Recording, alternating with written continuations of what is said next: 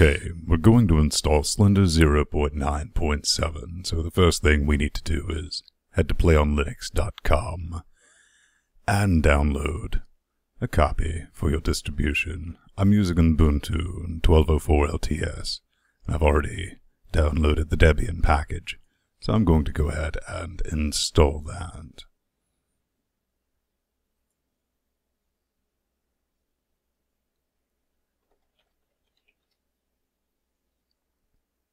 Now we can close out and we need to grab a copy of Slender from parsecproductions.net forward slash Slender. Just grab the Windows copy and you want to download 0.97. You already have a copy of that on the desktop. So let's go ahead and extract this folder to the desktop. And we can close out and we need to launch Play on Linux.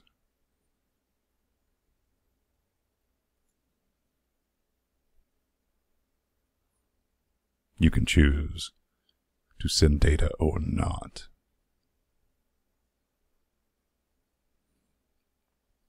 Now we'll have to go through our Play on Linux first use. Let's click Next.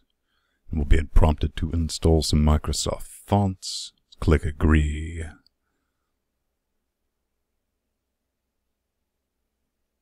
Now we're done with that, click Next, and enjoy using Play on Linux. Now from here, we need to add a wine version. So, we will select 1.42 RAW 3. That's with the raw input patch. Another wizard, click Next.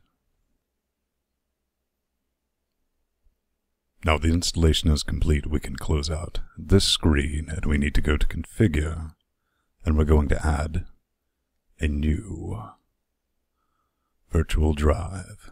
Let's click next and you want to select 14RC4 RAW 3 and we'll call it Slender. Let's try to spell that correctly. Better.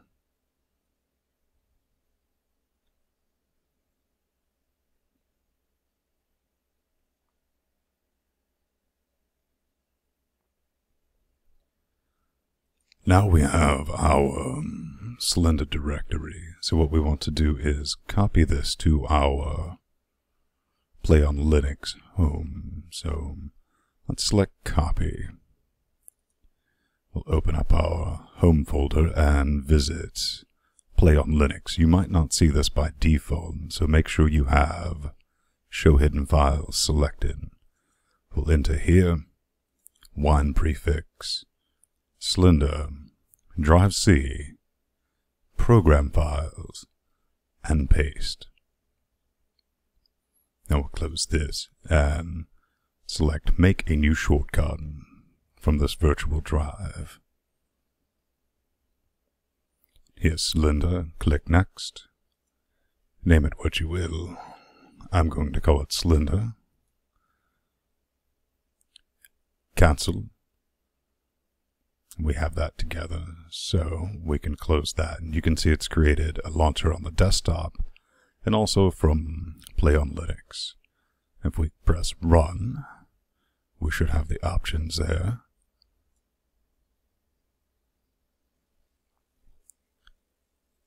Start the game and make sure the mouse input works. Well then. Enjoy.